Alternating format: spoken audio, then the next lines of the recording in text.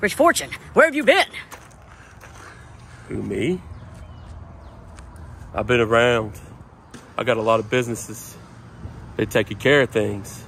Man of my stature, you gotta you gotta go from business to business. So I figured I'd finally drop in, take a look around, see how this business is going.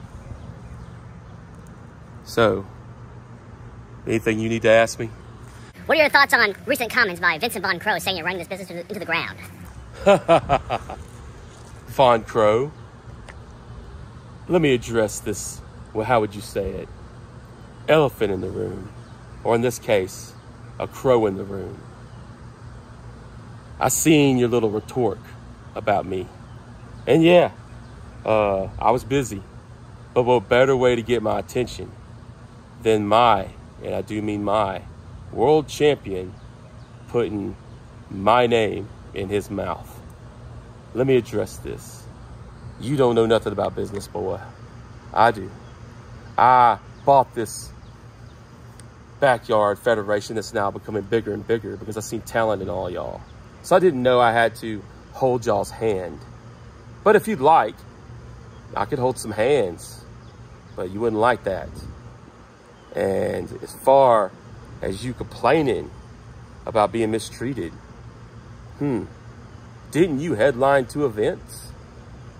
Didn't, aren't you the world champion?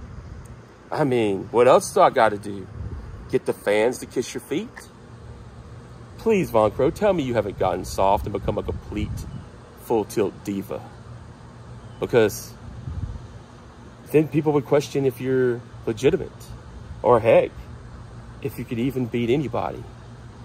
You know, in other words, what I'm trying to say, Von Crow, is don't bite the hand that feeds you. Don't talk bad about the man with the money that pays your checks. Focus on yourself. That'd be the best advice I got for you. And quit complaining. Again, aren't you the world champion? What more do you need? In the meantime, starting in June, I'm going to be around a lot, lot more. I got all my other stuff taken care of, and there's a lot of stuff that I guess I have to be more hands on about. So, in passing, take care, Von Crow. But remember, if you step on the wrong feet, like all birds, you get your wings snipped. Well, anyway, enough for this interview. I just came by to check on things, and I'm a busy man. Got a lot of things to do. And as always, and especially you, Von Crow, I'm going to continue to make more money at even your expense. Fortune out.